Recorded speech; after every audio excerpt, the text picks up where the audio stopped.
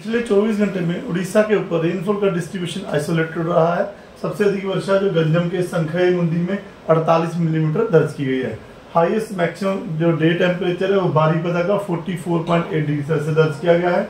उसके बाद बात भुवनेश्वर का 41.3 और कटक का 42.5 डिग्री सेल्सियस तापमान दर्ज किया गया उसके बाद severe heat wave heat wave to severe heat wave एक दो स्थान पर मयूरभंज और ढेंकनाल में ऑब्ज़र्व की गई है। उसके अलावा हीट वेव की कंडीशन भी ऑब्ज़र्व की गई जिसमें अनुगुल बालासोर, कटक क्योंझर केंद्रपाड़ा, भद्रक, जाजपुर, गंजम और खुर्दा डिस्ट्रिक्ट शामिल है।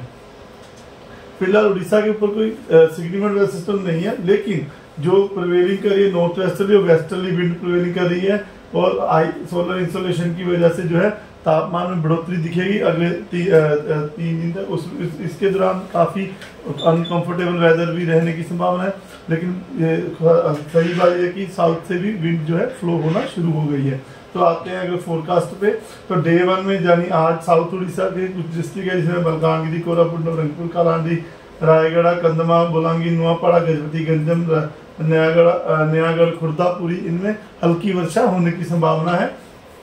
आज जो हमारा नॉर्थ उड़ीसा है, वहाँ पर heat wave to severe heat wave होने की संभावना, जिसमें कि रेड वार्निंग दी गई है, जिसमें मयूरभंज क्योंझर, बालासोर, भद्रक, केंद्रपाड़ा जाजपुर कटक, खुर्दा, नयागढ़, अनुगुल डेटकनाल देवगढ़, बोध, सोनपुर, संबलपुर झारसुगुड़ा सुंदरगढ़ डिस्ट्रिक्ट शामिल है, जहाँ रेड वार्निंग दी गई है, जहाँ पर सीवियर हीट वेव होने की संभावना है उसके अलावा बारगढ़ नुआपाड़ा बुलंगीर नवरंगपुर कालांडी कदमा रायगढ़ गजपति गंजम और मलकानगिरी डिस्ट्रिक्ट में ऑरेंज वार्निंग दी गई है हीट वेव होने की संभावना की वजह से कोरापुट और पुरी में हॉट एंड ह्यूमिड वेदर होने की संभावना जिसकी वजह से येलो वार्निंग दी गई है तो एक तारीख को फिर से जो है हमारे नॉर्थ उड़ीसा कुछ डिस्ट्रिक्ट है जहाँ पर रेड वार्निंग दी गई है और कुछ डिस्ट्रिक्ट जहाँ पे ऑरेंज कलर दिख रहा है वहाँ पे आपको ऑरेंज वार्निंग हीट वेव के लिए दी गई है, जिसमें रेड वार्निंग बात करें तो सुंदरगढ़ झारसुगुड़ा क्योंझा मयूरभंज बालासोर, भद्रक, जाजपुर ढेंकनाल अंकुल, कटक, बोध डिस्ट्रिक्ट शामिल है, जहाँ पर सिवियर हीट वेव होने की संभावना है, जिसके लिए रेड वार्निंग दी गई है।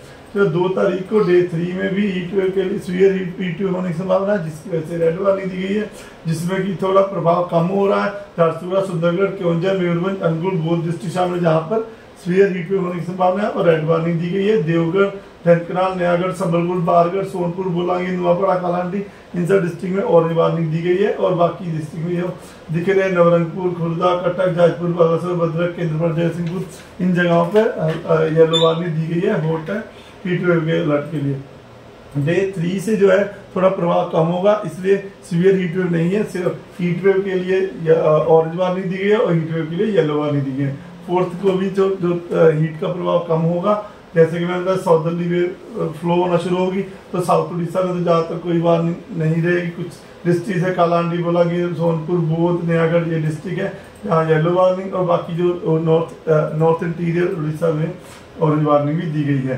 टेम्परेचर फोरकास्ट की बात करें तो अगले चार पाँच दिन तक टेम्परेचर फोरकास्ट में ज़्यादा बदलाव नहीं देखा जा सकने की संभावना है।